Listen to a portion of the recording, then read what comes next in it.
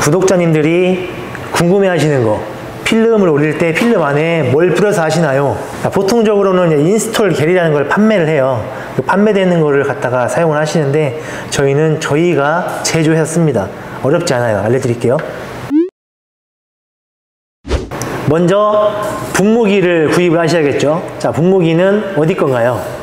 Living Angel Made in Korea Living Angel 거 네네. 1.8리터짜리예요 1.8리터짜리인데 저희는 1.5리터씩 타습니다. 먼저 분무기 안을 깨끗하게 청소를 해야 됩니다. 먼지가 들어가면 안 돼요. 청소가 끝나면 이제 물을 넣어요. 어, 약한 700ml 한 반절 정도. 자 이게 중요해요.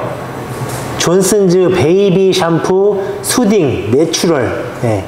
계면 활성제가 최대한 적게 들어가 있는 제품이에요 미끌미끌하게 만들어주는 게 그 계면 활성제인데 계면 활성제가 많이 들어가 있는 제품은 좋은 게 아닙니다.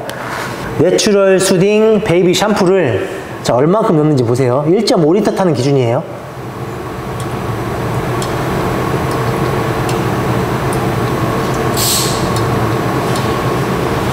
살짝 짜서 뚝 네. 떨어지는 방울로 8방울. 이렇게 했는데도 내가 필름을 붙이는 시간이 사람마다 달라요.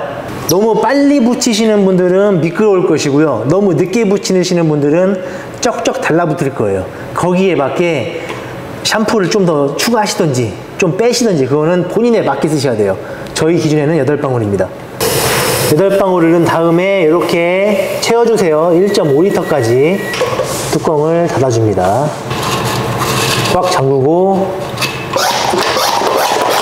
섞어줘야죠. 네, 쉐키 쉐키 간단하죠? 끝났습니다. 이렇게 쓰시면 돼요